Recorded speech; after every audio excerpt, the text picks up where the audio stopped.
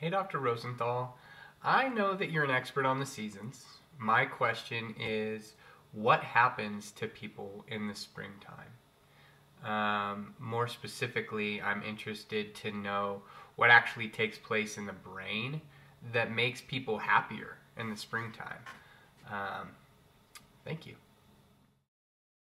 There are so many reactions to spring, but most people just love it when the world comes green and colorful with the grass and the trees and the flowers, when the leaves pop out of their buds, and the days get longer and they're warmer, and you're able to get outside and do all kinds of wonderful things. So, at one level, spring is a great pageant. But at the same time, there are all kinds of changes going on in the brain itself.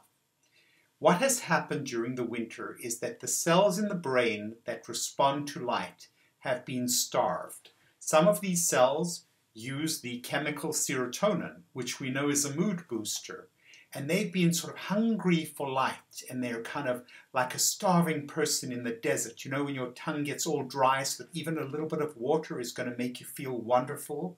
Well, all of a sudden, as the days get longer, and around the spring equinox, that's when the rate of day length is increasing the most.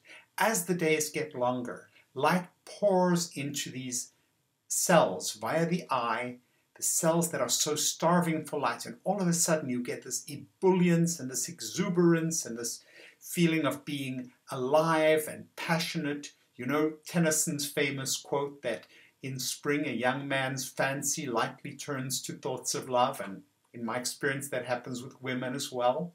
Well, that is a kind of spring fever that a lot of people experience. Some people, for whatever reason, have difficulty with this rapid transition between the winter and the summer when the day is getting bigger and longer and brighter so quickly they have a hard time transitioning and they can feel a sense of discord or uneasiness or even depression. But that's less common. If it happens, people should check it out.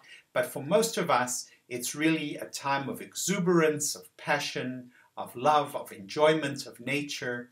And uh, that's how I hope it is for all of you.